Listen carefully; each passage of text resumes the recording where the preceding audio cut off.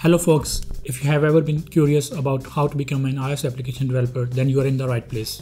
I am Mohsin Sharif and I am going to teach you how and from where you can start learning. If you have a computer science background, then you can skip the first half of the video. Still here? It means you are not familiar with any kind of development lifecycle yet. Do not worry, I was also like a clean slate when I started.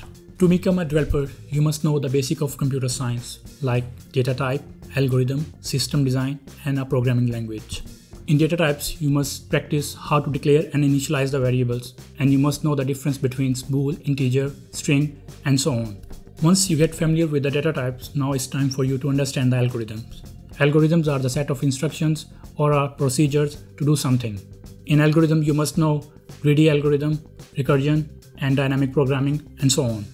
In order to practice all the mentioned tasks, you need to choose and start with the programming language.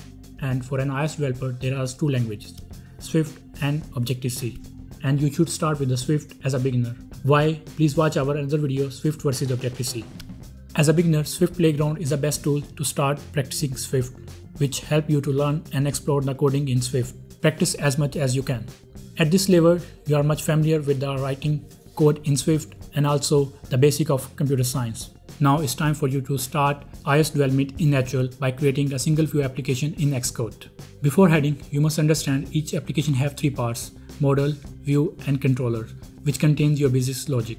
Whenever we click on a button on a screen, it performs some kind of action.